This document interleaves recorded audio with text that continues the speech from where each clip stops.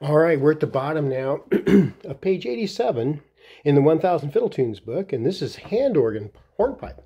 Three sharps in the key signature, key of A major. Ready, and two.